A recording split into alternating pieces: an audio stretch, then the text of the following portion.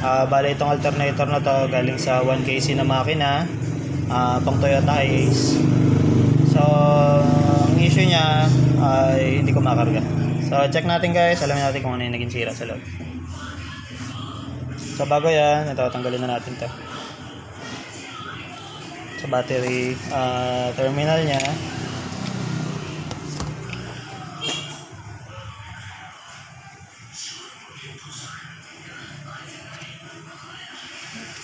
So, huwag niyong kalimutan to guys. Ito, lagi may plastic bushing yan. Ah, baka mapagkamalian yan. No? So, yun yung nag-isolate sa positive tsaka negative natin. Plastic siya. Kawasan niya mabasag. Ah, pagka sinisigipan siya.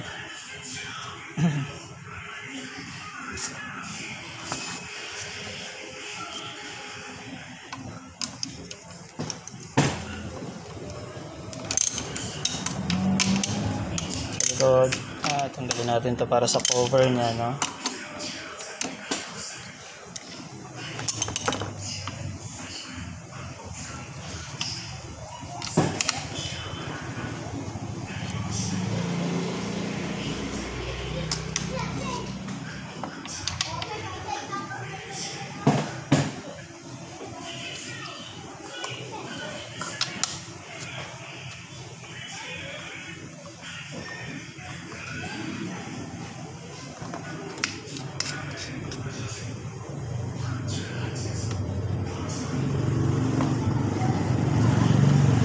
Ito, tanggalin na natin na yung takip.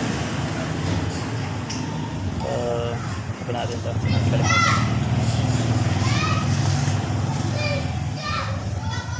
Ah, so yan, natanggal na siya. No? Kalagin natin isa-isa.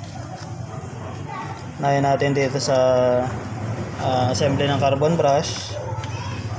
So, minsan kasi yung mga alternator, pagka nagkakaproblema yan, no? Ah, minsan yung carbon brush kasi napupudpud na. Check natin kung mahaba pa siya. Tanggalin na rin natin siya kasama ng ah, IC regulator na para isang tanggalan lang.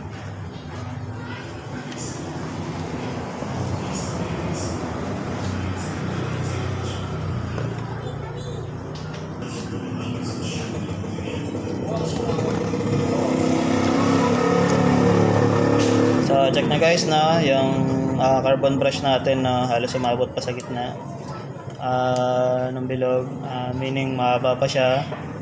ah, maayos pa siya. Ano. Tanggalin natin to yung ah, diode niya, trio. Ay, yung diode ah, rectifier niya.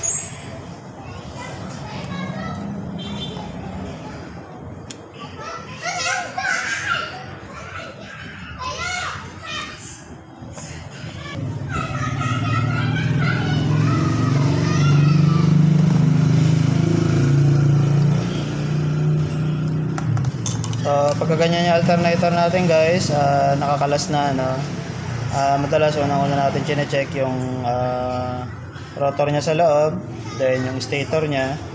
Bali kasi itong alternator na to, ah, ang kagandahan sa Toyota, hindi mo na siya kailangang ah, kalasin pa ng isang buo. Ah, dito sa ibabaw, uh, matetest mo na kagad yung ah, rotor niya dahil dito. Then, ah, itong stator niya, uh, check mo na rin, no? Makukontent, test mo na. So, gamit tayo ng ano, no? gamit tayo ng tester guys na uh, unahin natin testingin lagi. Unang-una yung ah, rotor natin. So, gamit tayo ng multimeter na.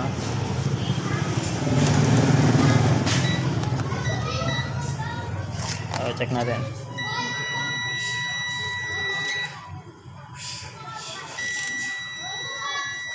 So ayan guys, uh, check na natin na nasa ohms tayo na itong ah, ano natin, itong ah, ah, rotor natin, test natin dito sa ah, dalawa. Ah, dito sa dalawang ah, commutator na nakikita natin. So testerin natin guys. Uh, yun siya ang reading na nakukuha natin. to guys, check, check niya. Ah, 3.4 ohms, ah, 3.4 ohms sa pababa. So, tama yung reading na yan. Ah, okay yan. alam nating ah, may continuity siya no? Ah, tsaka okay siya.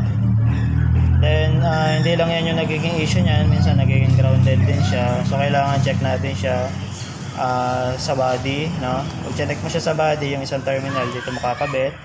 Then yung isang terminal dito. Dapat wala siyang reading guys kahit konti so pag nagka-reading yan guys kahit konti alam na natin kailangan natin palitan yung ano natin ah yung rotor natin or pwede natin ipa-rewind ganun. Pero mas maganda pa rin kasi yung ah, pagpanilitan natin siya ng brand. Then dito naman tayo sa mga stator natin no? Ah, sa stator natin ah, itong mga apata na terminal na ganyan ah ito naka pag apat na ganito naka Y yung winding niyan no? Pag naka Y yung winding niyan merong common line yan Ah, pag may common line yan ah, isang madaling paraan para mahanap yan is tignan mo itong diode. Ah, yung part dyan na yung diode niya rectifier. Yung part dyan na walang ah, ano yung part dyan na walang diode yun yung pinaka common line niya. So yung common line na magche-check tayo galing doon. So dito guys na found out natin ang common line ay ito. So kung titingnan natin sa likod na ito yung pangalawa. Yung pangalawa niya walang walang walang diode kasi yun.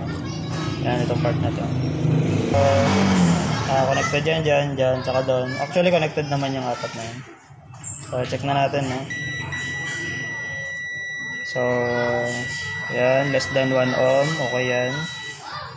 So check natin itong kasunod. Ah less than 1 ohm natin then yung kabila. Less than 1 ohm. So okay sila guys. Alam natin okay sila no?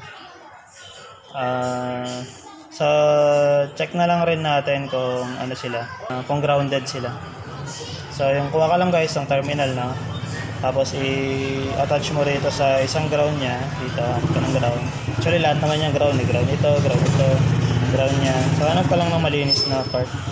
Doon mo idikit yung tester mo check mo dyan kung meron siyang ah, check mo kung meron siyang ah, continuity o reading. Pag may continuity yan o reading meaning ah, grounded na tong stator natin or pasunog na. So kailangan na siyang palitan or pa-rewind mga ganun. So ito guys, alternator natin na to, ah, ah, alam natin okay siya, no? Okay siya. So dito naman tayo guys sa ah, IC niya, ah, sa regulator.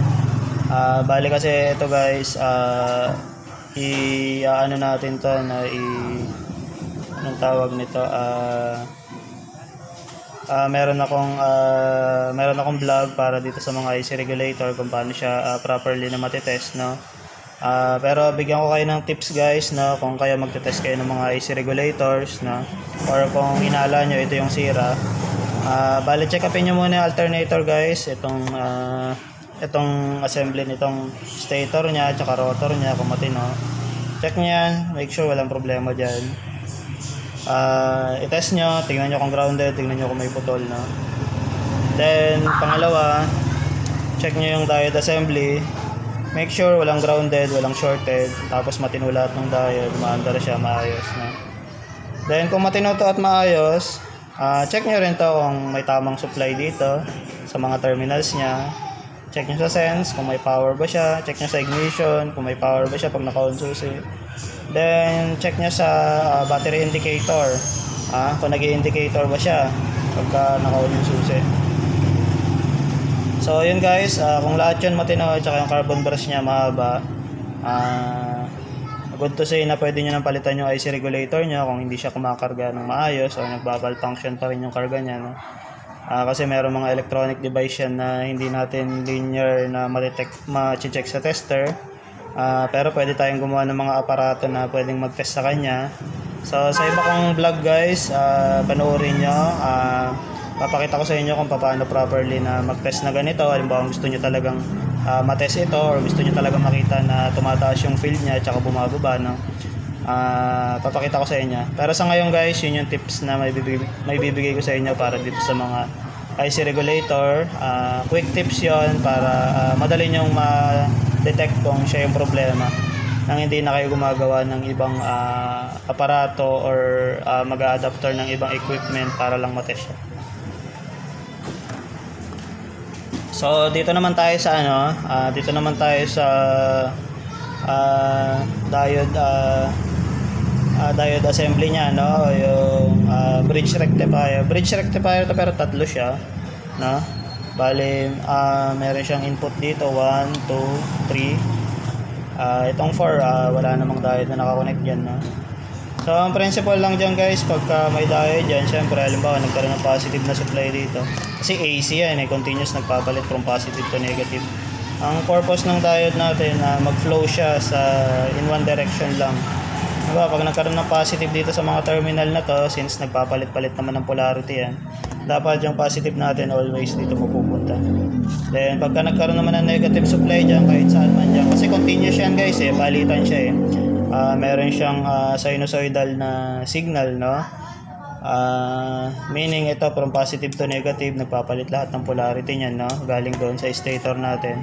So parang ang trabaho ng diode bridge natin is i mag-route, magre-route ng ah, polarity niya na halimbawa, kung positive yung pumasok sa kanya, negative dito, dapat lahat ng positive diyan ang punta, dapat lahat ng negative dito yung punta. So yun guys, ah check upin na natin na ah Ah, ganito gagawin natin dyan. So, pag nag-check ako ng diode, sineset ko yan sa diode ah, mode. Ah, then, pagka pinagdikit mo yan guys, ah, dapat ah, maging 0-0 yung reading, meaning yung voltage drop niya 0-0. No? So, check muna natin guys sa positive. No? Turuan ko yan paano mag-check sa positive. So, sabi ko nga kung sa positive, malamang dapat positive probe dito. Then, negative dito sa kabila. Bakit ka mo? Kasi dapat positive yung papasok sa kanya. So, pag chinek mo siya, yan, tulad niya, may reading siya. 0.388 volts. So, tama yung voltage drop na yan, no? Okay. So, gagawin natin, pag na-test natin tong isang pin, babaliktad rin natin pagkatapos. So, yan. Pag binaliktad mo, dapat walang reading. Walang magbabago sa reading. Ibig sabihin, hindi siya magda-drop. So, pagka yan, nag-drop yan ah, sa 1 volt, or nagkaroon ng reading dito sa, halimbawa, bumaba yung reading niya sa 0.98 volts na kinakabit natin. Ah, meaning, ah, sira siya. Pero ito, good to, maayos to, no? Ah, nice yan. Then, ito tayo sa kasunod na diode niya, no? Sa pangalawa, check natin. So, pag check natin siya, yan guys, pakita ko. Pag chinek natin siya, 0.390, okay pa rin yan. Gagawin lang natin guys, babalik rin natin yung polarity ng tester. Check natin kung may reading. So yun, wala naman nagbago, no? Ah, point, ah, nine- 0.979 siya. Okay pa siya good. So itong part na to, wala namang diode, di na kailangan testingin.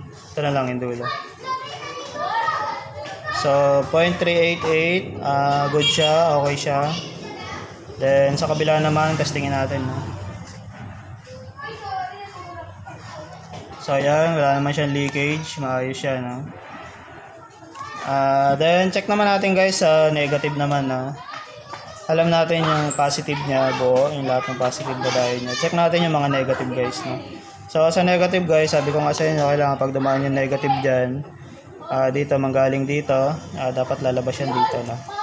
Pero pag positive ang pumasok dyan, dapat hindi papasok ang positive dito, negative lang. So, check natin guys na, halimbawa negative siya, dito sa diode number 1 niya. Pag chinek mo, so yan 0.001, sobrang baba ng reading guys na mukhang may tama na tong ah, negative na diode natin. No? So, pagbabalik rin natin yung terminal niya.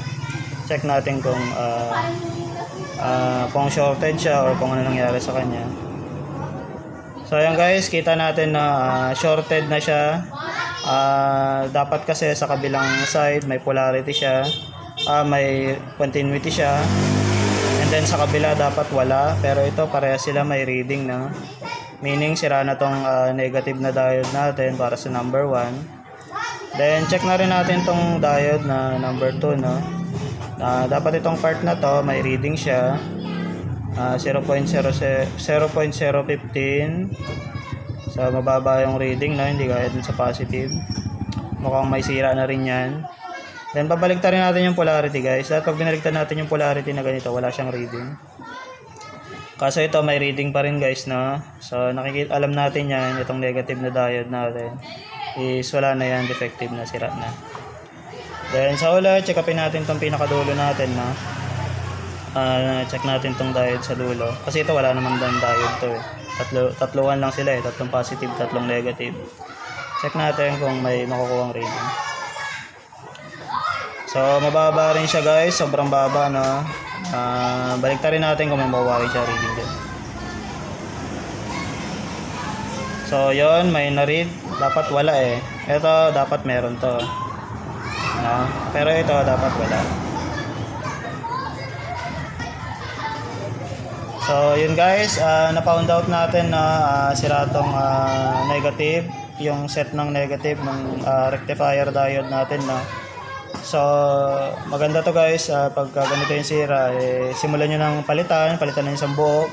Ah, kung kaya nyo brand nyo ipalit, brand nyo ipalit nyo para siguradong matibay tsaka ah, magtagal. Ah, pero syempre guys, para sa wala pong masyadong budget na may mga remedy dyan guys. Ah, pwede siyang taniman ng diode. So, yun guys, ah, siguro papakita ko na lang yun sa ibang video natin no, ah, kung paano natin tataniman ng diode to mga ganito. Ah, pero as a remedy lang yun. Pero sa ngayon guys, ang gagawin namin, papalitan na namin to ah, para mabuo na yung alternator namin tsaka maging maayos na.